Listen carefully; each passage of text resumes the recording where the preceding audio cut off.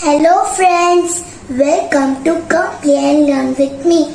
I am Kyra and today we are going to do one experiment. So let me wish you Happy World Environment Day. Hmm. We need to keep our surrounding clean.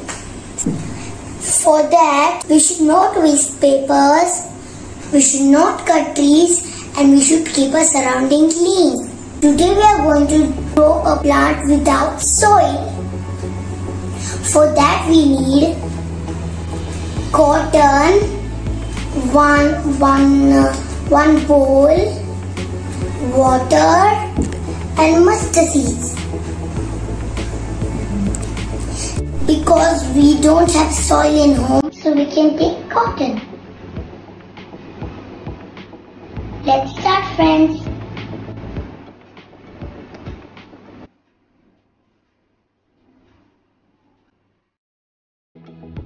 Spread this cotton in the bowl.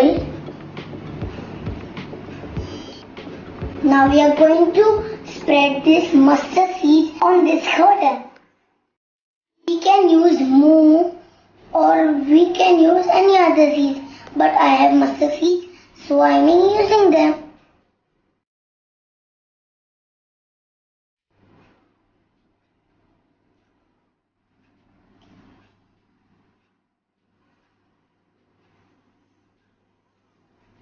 Friends, cotton have all the properties of soil.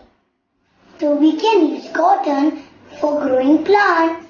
We have spread the mustard.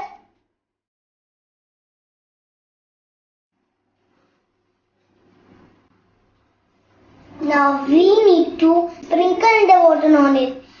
We should not put so much water in it.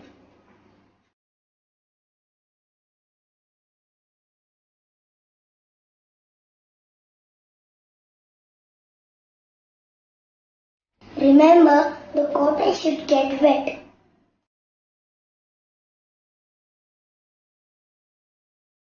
Now this is over.